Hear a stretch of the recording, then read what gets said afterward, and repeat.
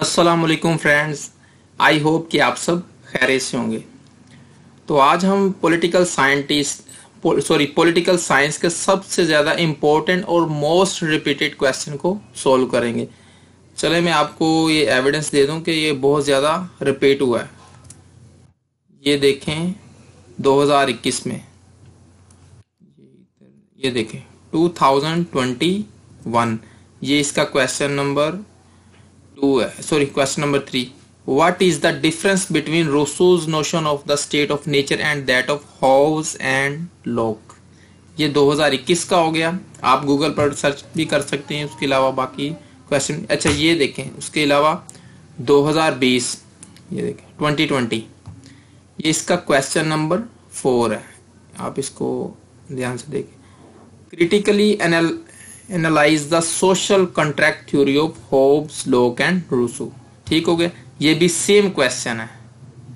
उसके अलावा आप देखें 2020 2017 2017 ये देखें।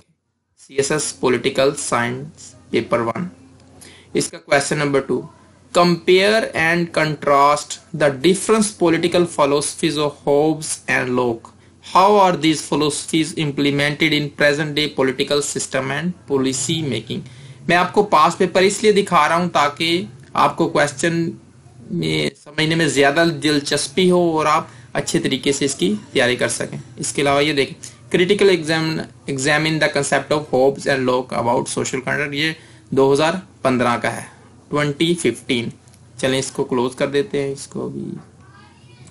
अच्छा चलें, अब मैं आपको इसको सिंपल वर्डिंग में इसको सोल्व करके दिखाता हूँ। ये देखिए सबसे पहले हम इसको देखते हैं, थॉमस होप। ये यही इनकी तरतीब है, इन, इसी हिसाब से इनकी डेट ऑफ़ बर्थ है। सबसे पहले थॉमस होप्स इनकी बर्थ हुई, उसके अलावा इनकी डेट ऑफ़ वाइज मैं बता रहा हूँ। उनके बाद जॉन लॉक हैं, ये देखें, ये जॉन लॉक है। ठीक हो गया। उनसे नेक्स्ट जो फिलोसफर है, वो है जीन जैक्विस रोसो इन्होंने एक दूसरे से नेक्स्ट काम किया है। ठीक हो गया? तो इसी हिसाब से मैं आपको इसकी सिंपल वर्डिंग में आपको समझा देता हूँ। आपने ये नहीं देख के परेशान नहीं हो जाना कि इतना ज़्यादा डाटा है। ठीक हो गया? सबसे पहले जो जो तीन साइंटिस्ट है, इनका कमाल ये, इन्होंने सबसे पहले थॉमस होब्स ने इस चीज़ की इस चीज़ का आगाज़ किया। थॉमस होब्स ने क्या किया? जिस तरह फिजिक्स को न्यूटन जो है साइंटिस्ट उनका क्या काम है फिजिक्स में? वो फिजिक्स के एज फादर समझे जाते हैं, ठीक है? उन्होंने सबसे ज़्यादा फिजिक्स में काम किया, उस, उन्होंने किस तरह काम किया? उन्होंने पहले दरियाफ्त किया ये चीज़ क्यों हो रही है? ये कैसे है? ये सब कैसे हो रहा है? किसी भी चीज़ के ये लाज उन्होंने इस तरह इन्वेंट किए। इसी तरह थॉमस होब्स ने पॉलिटिकल साइंटिस्ट साइंस के साथ किया। उन्होंने कहा कि हम सोसाइटी सोसाइटी किस तरह बनती है? और गवर्नमेंट किस तरह बनती है? गवर्नमेंट को हम क्यों अबे करते हैं? ठीक हो गया, हम पुलिस को क्यों फॉलो करते हैं? और हमें कब तक इसकी, इसके फॉलो रूल्स को फॉलो करना चाहिए?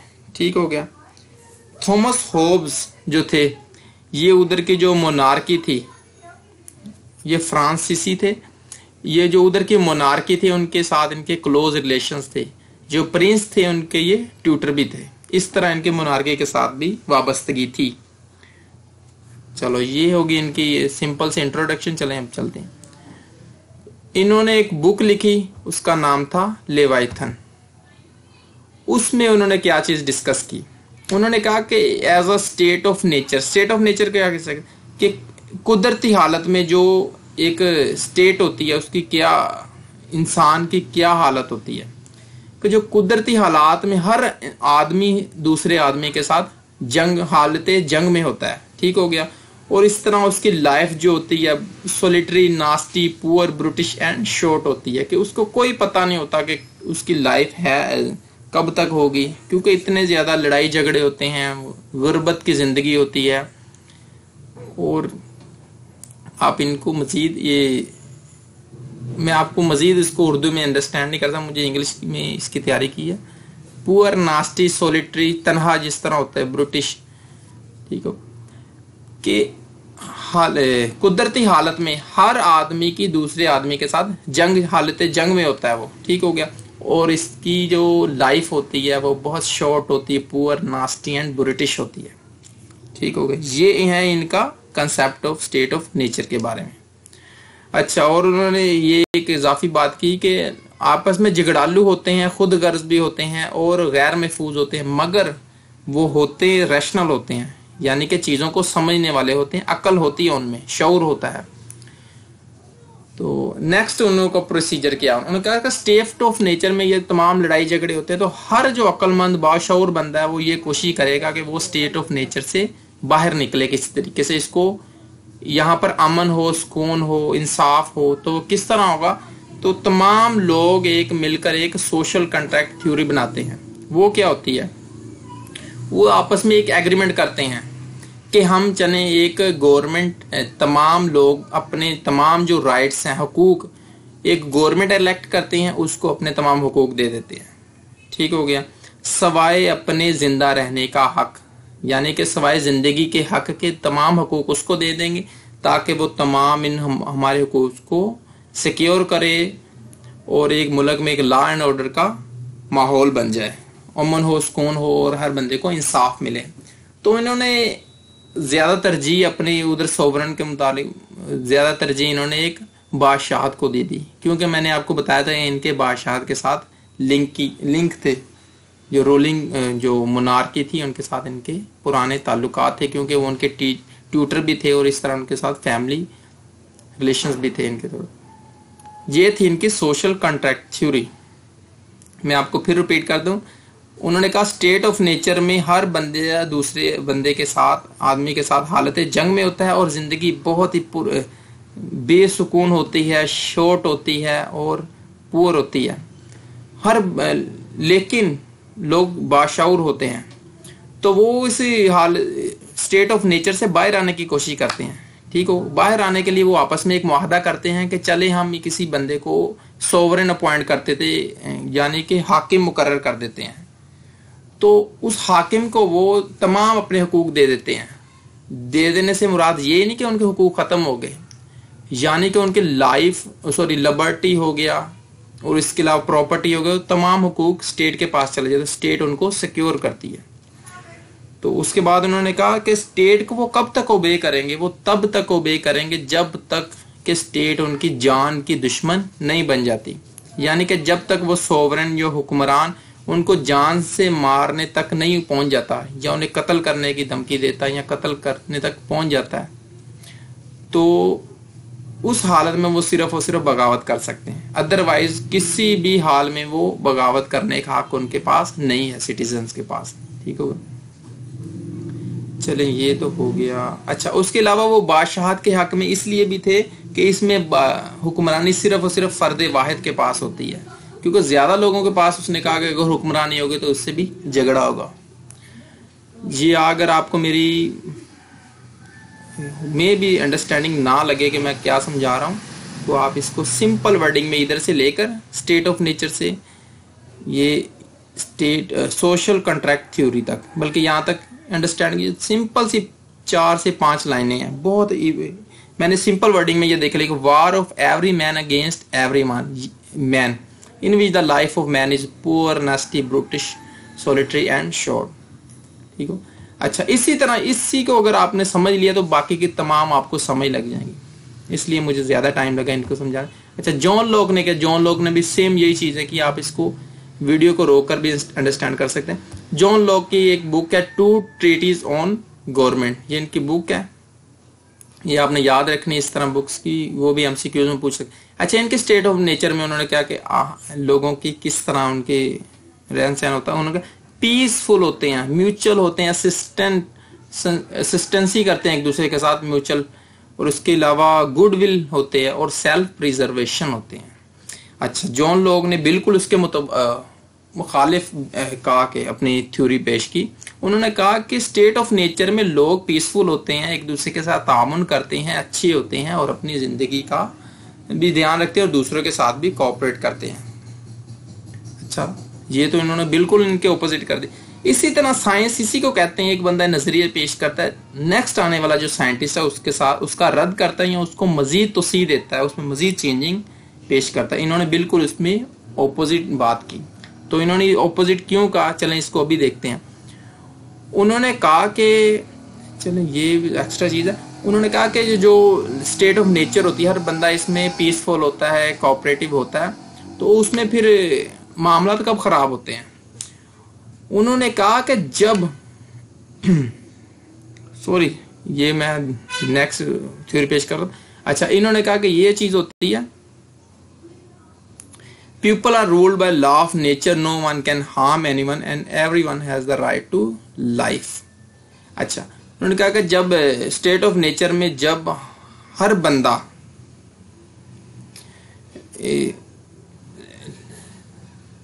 लॉ ऑफ़ नेचर उसको अपने मर्ज़ी से इंटरप्रेट करता है तो उनमें कन्फ्लिक्ट पैदा हो जाता है।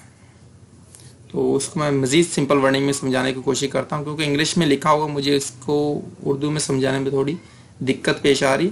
अच्छा उन्होंने कहा कि स्टेट ऑफ़ नेचर में जिस तरह स्टेट ऑफ़ नेचर होती है, इस तरह एक नेचुरल लॉ भी होता है। नेचुरल लॉ क्या होता है? नेचुरल लॉ से मुराद है कि हम सबको पैदा करने वाला, यानी कि हमारा खालिक अल्लाह अज्जा वजल है। और सिर्फ़ वही हमारे ये तमाम हकूक ले सकता है। उसके अलावा किसी के पास ये अथॉरिटी नहीं है कि हमसे हमारे हकूक ले सके। तो इस तरह उन्होंने कहा कि इसी तरह लॉ लॉ ऑफ़ नेचर होता है। लॉ ऑफ़ नेचर क्या होता है? कि हर बंदा आज़ाद होता है अपनी ज़िंदगी में, अपनी प्रॉपर्टी रखने में, और इस तरह अपनी लाइफ लिबर्टी एंड ये इधर अच्छा होता है। लेकिन जब हर बंदा, क्योंकि इंसान जब एक सोसाइटी में रहते हैं तो आपस में उनका इख्तलाफ हो जाता है और मोस्टली उनका प्रॉपर्टी पर होता है। तो जब उनका आपस में कन्फ्लिक्ट पैदा हो जाता है तो वो लॉ ऑफ़ नेचर को अपनी मर्ज़ी से इम्प्लीमेंट करते हैं। तो हर बंदा कहता, नहीं, मेरा, मैं हक पर हूँ। दूसरा कहता, मैं हक इस तरह उनमें आपस में कन्फ्लिक्ट पैदा हो जाता है और वो स्टेट ऑफ़ नेचर से स्टेट ऑफ़ वार में चले जाते हैं। स्टेट ऑफ़ वार किसे कहते हैं? स्टेट ऑफ़ नेचर में रहते हुए जब उनके आपस में झगड़े वगैरह हो जाते हैं तो वहाँ पर बदअमनी पैदा हो जाती है, जिसे हम कहते हैं स्टेट ऑफ़ वार तो यहाँ पर फिर वो ही बात हुई। वो कोशिश करते हैं कि भाई हम इस बेदमनी से निकलें यहाँ पर लॉ एंड ऑर्डर कायम हो और जस्टिस मिले। उसके लिए वो आपस में एक एग्रीमेंट करते हैं। उसे कहते हैं सोशल कॉन्ट्रैक्ट थ्योरी उन्हीं की तरह पिछले थॉमस हॉब्स की तरह। तो वो क्या कॉन्ट्रैक्ट करते हैं? वो कॉन्ट्रैक्ट करते हैं कि हम एक मेजोरिटी रूल की, की बेस पर हम गवर्नमेंट बनाते हैं जिसमें तमाम लोगों की मर्ज़ी हो और तमाम लोगों की एक किस्म की हुकूमत है जस्ट लाइक डेमोक्रेसी जॉन लोग को बेसिकली डेमोक्रेट क्रेसी भी इनकी थ्योरी को कहा जाता है कि इन्होंने बेसिकली डेमोक्रेसी की बुनियाद डाली। इन्हीं लोगों को फॉलो करने वाले अमेरिकन हैं। उनकी जो फाइंडिंग जो कॉन्स्टिट्यूशन वगैरह में ये तमाम के तमाम लाज इन्हीं लोगों के पुट हैं। जॉन लोग हो गया, उसके अलावा रूसू हो गया मोन्टेस्क्यू वगैरह हो गया चलें, ये बात की बात है अच्छा वो स्टेट ऑफ़ वार से निकलने के लिए एक एग्रीमेंट करते हैं, उसे कहते हैं सोशल कॉन्ट्रैक्ट थ्योरी उसमें मेजोरिटी के मुताबिक रूल करते हैं। The government of majority secure the natural rights life liberty and property और जो लोगों की बनाई गई गवर्नमेंट होती है रूल मेजोरिटी रूल होता है, वो लाइफ लिबर्टी और प्रॉपर्टी को सिक्योर करती है। अच्छा रिवोल्ट अच्छा लोग कब तक उसकी उसको फॉलो करें, उसके रूल्स को, कब तक उसकी फर्मा बरदारी करें, उसको ओबे करें। तो जब तक गवर्नमेंट उनके नेचुरल लॉज को सिक्योर करती रहेगी, उनकी हिफाजत करेगी, तब तक वो उसको ओबे करेंगे। और जब वो उनके लॉज लॉ ऑफ़ नेचर को इम्प्लीमेंट करने में नाकाम हो जाएँगे, या फिर लोगों के के साथ नाइंसाफ़ी करेंगे तो ये उन लोगों पर फ़र्ज़ हो जाता है कि वो अपने रूलर को ख़त्म कर दें। यहाँ तक उन्होंने लिखा कि किल भी कर दें या रिप्लेस कर दें, ये होगी थ्योरी जॉन लॉक की। नेक्स्ट आ जाए जीन जैकुस रोसो। इन्होंने उनसे भी आगे एक स्टेप गए। ठीक है, उन्होंने कहा कि स्टेट ऑफ़ नेचर में जो आदमी होते हैं, लोग होते हैं, वो ब्लिस होते हैं isolated peaceful timid mute and no worry of future ठीक हो गया। सबसे पहले इनका मैं एक मशहूर इनकी कहावत है man is born free but everywhere he is in chains वो कहते हैं, आदमी आज़ाद पैदा होता है, लेकिन देखा यह जाता है कि हर जगह उस, वो पाबंदियों में जकड़ा हुआ है, या हर जगह वो गुलामी में है। तो ये आज़ादी के बहुत बड़े अलम्बरदार थे ये जनाब। इनकी बुक है discourse on the origin of inequality ये सेकंड डिस्कोर्स है इनका। इनकी दो ऐसे थे, ये सेकंड ऐसे है, ठीक हो गया। अच्छा स्टेट ऑफ़ नेचर में वो कहते हैं, आदमी लोग पीसफुल होते हैं, लेकिन तनहा होते हैं। ठीक हो गया। वो खामोश होते हैं और उन्हें फ्यूचर की भी परेशानी होती है। ठीक है? इन्होंने उनके, दोनों के बिल्कुल ऑपोजिट कहा। इन्होंने ना तो कहा कि हालत जंग में होते हैं, ना इन्होंने कहा कि बहुत कोऑपरेटिव होते हैं। ठीक हो गया? इन्होंने कहा कि कोऑपरेटिव भी नहीं होते और ना ही ये आपस में लड़ते झगड़ते हैं। यानी कि तनहा रहना पसंद करते हैं और ना ही इन्हें फ्यूचर की कोई परेशानी होती है। चलें, देखते हैं। इससे अच्छा इन्होंने कहा कि फिर स्टेट ऑफ़ नेचर में तो ये तमाम सुकून भी था, खुशहाली भी थे, और ना इन लोगों को फ्यूचर की कोई परेशानी। देन कन्फ्लिक्ट कब पैदा हुआ? The conflict starts when the one the first person who declare a piece of land belongs to him जब पहले शख्स ने ये दावत कर दिया कि भाई ये फलां ज़मीन का टुकड़ा जहाँ पर वो रहता है या कोई भी लग कि ये मेरा है ये मेरी प्रॉपर्टी है और दूसरे लोगों ने भी उस पर यकीन कर लिया यहाँ से वो कहते प्राइवेट प्रॉपर्टी का कंसेप्ट पैदा हो गया। तो जब हर बंदे ने अपनी प्राइवेट प्राइवेट प्रॉपर्टी रखने की ए, क्या कहते हैं बुनियाद डाल दी हर बंदे ने ये प्राइवेट प्रॉपर्टी रखना शुरू कर दी तो इस तरह प्रॉपर्टी बेस उनके लड़ाई झगड़े शुरू हो गए कन्फ्लिक्ट पैदा हो गया। तो इस तरह वो स्टेट ऑफ़ नेचर से स्टेट ऑफ़ वार में चले गए। किस वजह से? प्राइवेट प्रॉपर्टी की वजह से। ये देखिए प्रॉपर्टी के शुरू दिन से झगड़े हैं। ये आज की नहीं बात सोशल कंट्रैक्ट थ्योरी वो कहते फिर लोग उस स्टेट ऑफ़ वार से निकलने के लिए सोशल कंट्रैक्ट थ्योरी बनाते हैं।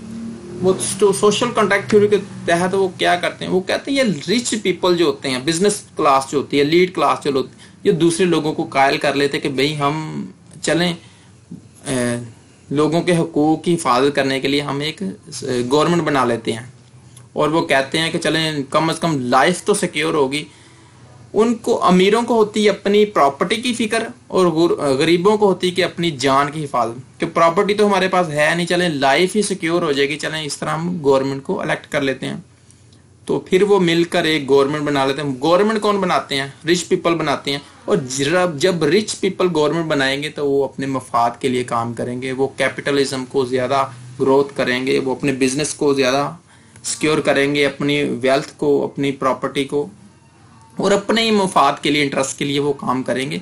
इस तरह वो फिर एक इंडिपेंडेंस और इनक्वालिटी की ये फजा कायम हो जाएगी। ये देखिए इनक्वालिटी का डिपेंडेंस तो गरीब जो होंगे, वो अमीरों पर डिपेंडेंट हो जाएँगे और इनक्वालिटी भी उनमें आ जाएगी। इस तरह फिर लड़ाई झगड़ा आपस में शुरू हो जाएगा। तो फिर वो स्टेट वार की सिचुएशन तकरीबन हो जाएगी। तो फिर वो जब स्टेट ऑफ़ वार फिर हो जाएगी तो वो कहेंगे कि नहीं यार, अब हम क्या करें? अब हम, इससे तो अच्छा था कि हम स्टेट ऑफ़ नेचर में ही अच्छे थे। ना ये प्राइवेट प्रॉपर्टी का कंसेप्ट आता, ना आपस में ये इस तरह का हम गवर्नमेंट बनाते, ना ही रिच पीपल हम पर रूल करते और ना ही इस तरह इनक्वालिटी और डिपेंडेंस वाला इशू होता। तो यहाँ पर मसला ये कायम होगा, ना तो वो पीछे तो वो जा नहीं सकते। यहीं रहते हुए उन्होंने पीस कैसे कायम करना है और अपने हकूक कैसे हासिल करने हैं।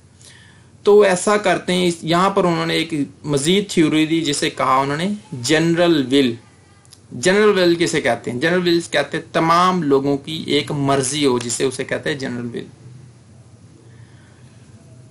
तो the need same rights general will अच्छा जनरल विल में क्या करते वो कहते तमाम लोग मिलकर गवर्नमेंट बनाएँगे ना तो रिच और ना ही पुअर इसमें रिच पुअर तमाम लोग मिक्स हो जाएँगे। वो तमाम लोग मिलकर लेजिस्लेशन करेंगे, यानी कि कानून बनाएँगे। जिस तरह हमारे, इस तरह होता है डेमोक्रेसी कंट्रीज़ में होता है, ये जो हमारे पार्लियामेंट होता है, ठीक हो गया? डेमोक्रेटिक स्टेट्स में वो एज अ जनरल विल काम हो रहा है।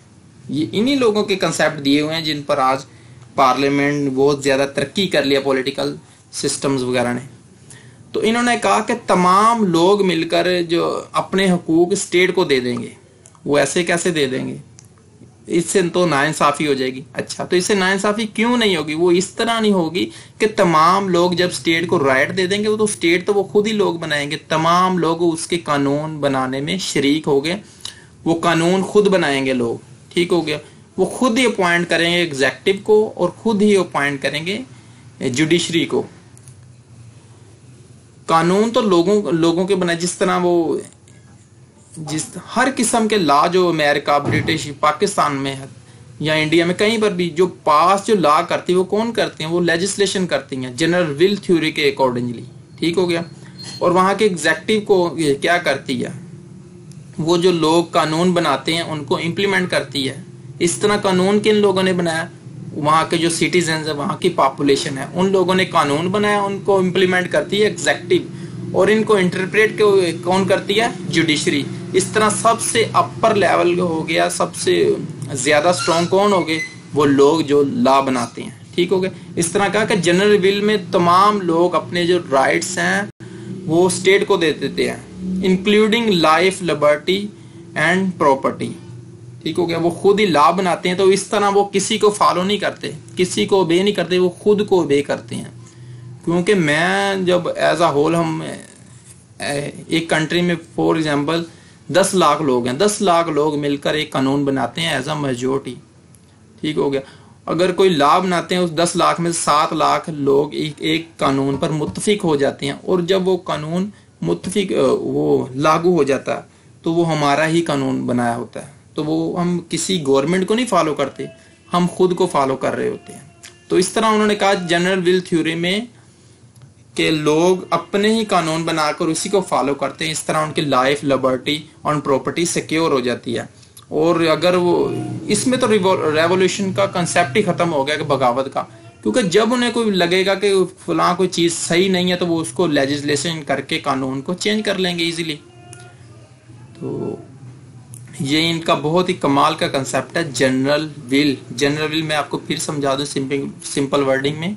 आप माशाल्लाह सी एस एस कर रहे हैं, आपके लिए चीज़ें मुश्किल नहीं कि आप इंग्लिश को इजीली अंडरस्टैंड कर ले। मैंने बिल्कुल इसको सिंपल वर्डिंग में लिखा हुआ है। आज ये देखिए as they could not go back to state of nature and undo the society they need some rights as in the state of nature for this they make another social contract based on general will theory general will is the collective will of society ये तमाम society की एक मुश्तरका मर्ज़ी है। ठीक हो गया। Not for the interest of rich और poor but for the whole of society इसमें ना अमीरों का मफाद है, ना गरीबों का। इसमें तमाम सोसाइटी की मेजोरिटी का मफाद है। People decide to give all their rights to general will obeying general will is like obeying oneself so people are as free as in state of nature laws are made by people on the basis of general will a government is appointed by the people to enforce the general will. Government has only executive and judiciary functions. Laws are made by the people. Hence, they follow the laws made by themselves. They are free and equal as in state of nature ये यहाँ पर लिख लिखना भी जरूरी नहीं भी इतनी tension they are free and equal as in state of nature तो वो स्टेट ऑफ़ नेचर में जिस तरह फ्री थे इक्वल थे, इसी तरह वो अब हो गए। बल्कि उससे ज़्यादा इस तरह हम अपनी मर्ज़ी के लाज बना सकते हैं, अपने इक्वालिटी के लिए लाज बना सकते हैं, अपनी लिबर्टी को सिक्योर कर सकते हैं और प्रॉपर्टी को भी सिक्योर कर सकते हैं। अगर आपने मेरा चैनल सब्सक्राइब नहीं किया देन काइंडली चैनल सब्सक्राइब कर लें और अगर आपको वीडियो अच्छी लगे तो अपने फ्रेंड्स के साथ डिस्कस करें ताकि दूसरे आपके जो फ्रेंड्स हैं वो भी इससे फ़ायदा उठाएँ। थैंक यू अल्लाह हाफिज़